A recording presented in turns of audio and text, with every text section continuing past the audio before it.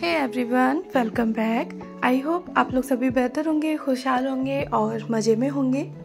हम लोग अपने घर को क्लीन एंड ऑर्गेनाइज रखने के लिए काफ़ी सारे एफर्ट्स लगाते हैं। वहीं मैं भी एक अपने घर को neat and clean and organise रखने के लिए सिर्फ़ टेन मिनट्स का रूल्स फॉलो करती हूँ, जिससे कि मेरा घर बच्चों के साथ भी हमेशा नीट एंड क्लीन रहता है। बच्चों के और हस्बैंड के जाने के बाद जो क्लीनिंग होती है, वो मैं स्टार्ट करती हूँ अपने बेडरूम से। तो बेडरूम में जो भी सामान वगैरह बिखरा हुआ होता है तो सबसे पहले तो मैं उसे उठा के उसी की जगह पर रख देती हूँ। दानी होती है तो वो टॉयज़ वगैरह से खेलती है। काफ़ी सारी चीज़ें तो वो किचन से ही निकाल के ला के यहाँ पर डाल देती है। तो बस वो चीज़ें उठा के मुझे उसी की जगह पर रखनी होती हैं। मॉर्निंग में मीरा आपको स्कूल भेजने की थोड़ी जल्दी होती है तो मैं कोई भी क्लीनिंग वगैरह नहीं कर पाती हूँ। तो वो सारी जो क्लीनिंग होती है ना, वो इसी टाइम पर होती है। साथ ही क्लीनिंग करने से पहले ना, मैं अपने पास रखती हूँ एक बास्केट, जिसमें दो टॉवल होती हैं और एक नॉर्मल पानी और विनेगर का सॉल्यूशन होता है, साथ में कॉलिन होती है।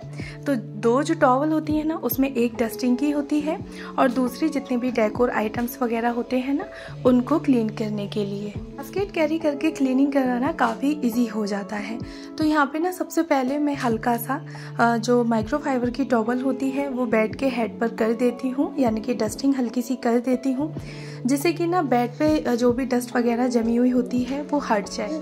और बेड मेरा कुछ इस तरह के है कि ना उस पर हल्की सी भी जो डस्ट होती है, वो दिखती है।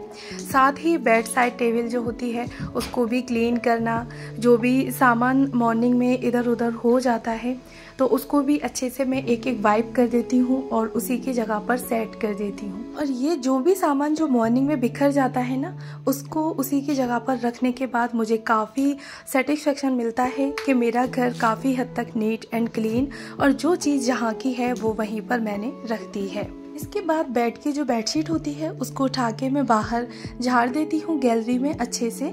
जो भी धूल वगैरह डस्ट या बच्चों ने खाना वगैरह खाया था ब्रेकफास्ट कर लिया था तो वो जो भी है, वो सारी गंदगी बाहर निकल जाए। साथ में इतने अच्छे से मैं उसकी टकिंग कर देती हूँ, जिससे कि दिन भर जो बेडशीट है, वो काफ़ी अच्छे से चल जाए। मुझे बार बार अपनी बेडशीट को ठीक ना करना पड़े। जो भी पिलो कुशन मुझे रखने होते हैं, वो मैं इसी टाइम पे ही बेड पे उसी की मैचिंग के अकॉर्डिंग रख देती हूँ, जिससे कि बेड काफ़ी अच्छे से क्लीन हो जाता है। साथ ही एक जो येलो माइक्रोफाइबर की टॉवल होती है ना, उसको मैं जितने भी डेकोर आइटम्स होते हैं, उनको क्लीन करने के लिए रखती हूँ। डेली बेसिस पर जो मेरी क्लीनिंग होती है, वो हल्का फुल्का डेकोर आइटम्स को क्लीन करना, साथ में जो टॉप सरफेस होती है, स्लिप वगैरह की या फिर छोटी मोटी मैंने कोई भी स्टूल या टेबल रख रखी है रूम में या घर में कहीं भी तो उसकी टॉप सरफेस को क्लीन करना। बाकी का वीकेंड जो क्लीनिंग रूटीन होता है, वो वीडियो मैं आप लोगों, आप लोग के साथ पहले से ही शेयर कर चुकी हूँ। फ़ैन को क्लीन करना और जो मैट्रेस होती है ना उसके प्रोडक्टर को अच्छे से क्लीन करना। तो ये सारी जो क्लीनिंग होती है ना फर्नीचर क्लीन करना ये मेरी वीकेंड की क्लीनिंग में आती है। बट डेली ही आ, मैं हल्की फुल्की डस्टिंग करती हूँ बेडशीट को ठीक करना साइड टेबल को ठीक करना ये मेरा डेली ही काम होता है। साथ ही आपने अगर अपने घर में चेयर्स वगैरह रख रखी हैं या फिर सोफ़ा है तो उसके जो कुशन वगैरह बिगड़ गए हैं या आप उस पर कोई भी थ्रो यूज़ करते हैं वो बिगड़ गया है तो उसको ठीक कर दें। मेरी तरह अगर आप लोगों के पास भी प्लास्टिक चेयर्स है ना तो उस पर आप लोग कुशन रख के देख सकते हैं। उनका जो लुक होता है, वो काफ़ी अच्छा निकल कर आता है और बिल्कुल भी ऐसा नहीं लगता कि ये प्लास्टिक की चेयर है। अगर आप लोग उन्हें ऐसे ही रखेंगे तो वो इतनी अच्छी नहीं लगेंगी बट कुशन के साथ ना काफ़ी अच्छी लगती हैं। उसके बाद आ जाती हूँ, फिर मैं बाहर वाले रूम में और बाहर के रूम की क्लीनिंग करती हूँ। तो यहाँ पे जो भी मेरी वॉच मोबाइल फ़ोन्स वगैरह जो भी चार्ज किए हुए होते हैं तो उनको हटा देती हूँ मैं। और जो भी चार्जर होते हैं ना तो उनको रख देती हूँ मैं उन्हीं की जगह पर, जिससे कि दिन भर चार्जर फैले हुए ना रहें। साथ ही मैं एक जो कपड़ा होता है, वो जगह जगह क्लीनिंग के लिए रखती हूँ। अगर मैं मॉर्निंग में नहीं कर पाऊँ क्लीनिंग तो जिस टाइम मैं जिस जगह पे खड़ी हूँ और मुझे हल्की फुल्की भी वहाँ पे डस्ट दिख रही है तो बस वहीं से मुझे कपड़ा उठाना है और उसको क्लीन कर देना है। क्योंकि ना अक्सर ऐसा होता है कि डस्टिंग का कपड़ा लाने के लिए हमें आलस आ जाता है और फिर हम लोग डस्टिंग यानी कि डस्ट वगैरह देख के कहीं भी एरिया में गंदगी देख के हम लोग ना उसको इग्नोर कर देते हैं कि नेक्स्ट टाइम या इवनिंग में हम जब भी करेंगे तब कर लेंगे।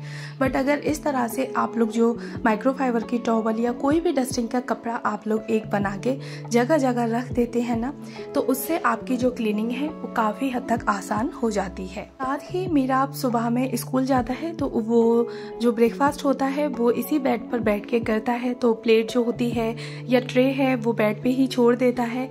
साथ में दानीन खेलती है ना तो टॉयज़ वगैरह भी रह जाते हैं। और उसकी पढ़ाई की जो बुक्स वगैरह होती हैं वो भी। तो वो उठा के मैं उन्हीं की जगह पर रख देती हूँ।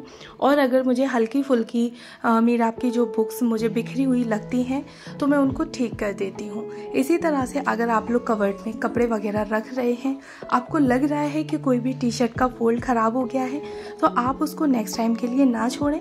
फटाफट से उसी टाइम पे ठीक कर दें। साथ ही मुझे आज ना यहाँ की बेडशीट चेंज करनी थी। ना समर्स चल रही है बेडशीट मुझे काफ़ी जल्दी जल्दी चेंज करनी पड़ती है। अंदर वाली बेडशीट जो है, वो तो मेरी काफ़ी हद तक चल जाती है, लेकिन ये जो बाहर वाली बेडशीट है ना, ये काफ़ी जल्दी गंदी हो जाती है। क्योंकि यहीं बैठकर हम लोग टीवी वगैरह भी देख लेते हैं, साथ में बच्चे कुछ खाना भी खा लेते हैं। स्टडी होती है, वो भी इसी बेड पर बैठ के मैं मीरा की स्टडी भी करवाती हूँ। तो ये जो बेडशीट होती है ना, वो काफ़ी जल्दी गंदी हो जाती है।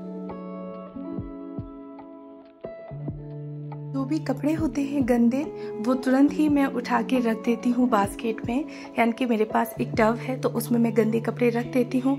लोड लगाना होता है तो मैं उसको भी इसी वक्त ही लगा देती हूँ, जिससे कि मैं सारी क्लीनिंग से फ्री हो जाऊँ और उस टाइम तक जो भी कपड़े हैं, वो सारे वॉश हो जाए।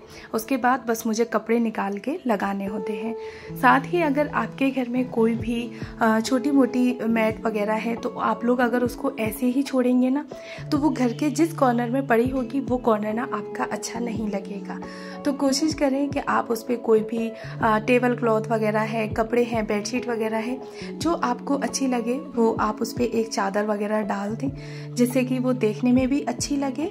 साथ में अगर कोई आ जाए या फिर जो चीज़ है, वो भी आपकी काफ़ी अच्छे से यूज़ हो जाए। तो ये जो बेड की मैट है ना तो मैं इसको फोल्ड करके यहाँ पे अपना एक छोटा सा सिटिंग एरिया बना लेती हूँ। इस तरह से मेरा हर एक जगह का टेन मिनट्स क्लीनिंग का रूटीन होता है। यहाँ की क्लीनिंग, ऑर्गेनाइजेशन एंड डेकोरेशन आप लोग देख ही रहे होंगे। वीडियो अगर पसंद आई हो तो मुझे कमेंट बॉक्स में बताइएगा ज़रूर। साथ ही अगर आज आप लोग मेरे चैनल पर नए हैं तो प्लीज़ मेरे चैनल को ज़रूर सब्सक्राइब करिएगा। साथ में बेल आइकन को भी ऑन करिएगा और हाँ कमेंट बॉक्स में बताना ना भूलिएगा कि वीडियो का कौन सा पार्ट आप लोगों को सबसे ज़्यादा अच्छा लगा। Thanks for watching my videos. Bye bye.